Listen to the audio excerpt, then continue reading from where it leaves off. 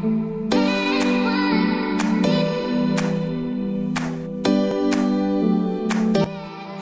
First আমি এখানে foundation use করে নিচ্ছি।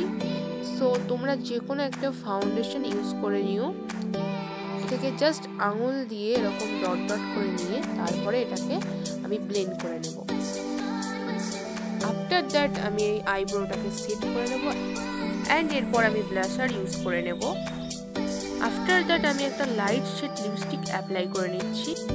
অ্যান্ড এবার আমি জাস্ট এখানে একটা মাস্কারা ইউজ করে নেব and my makeup is done college কিংবা যে কোনো অনুষ্ঠানে হালকা লাইট মেকআপ পেতে অবশ্যই এটা তোমরা ট্রাই করো। সো ভিডিওটি ভালো লাগলে লাইক কমেন্ট শেয়ার করে সাবস্ক্রাইব করে পাশে থাকা বেল আইকন প্রেস করে দিও। So thanks for watching take care